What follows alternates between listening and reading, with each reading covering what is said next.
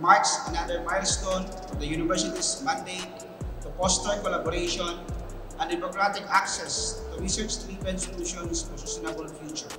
With the responsibility invested on me, I'd like to declare this Research and Mission Summit 2023 officially open. Through these activities, we continuously work to align our present and future programs and initiatives with futures thinking and strategic foresight concepts towards a sustainable future for all.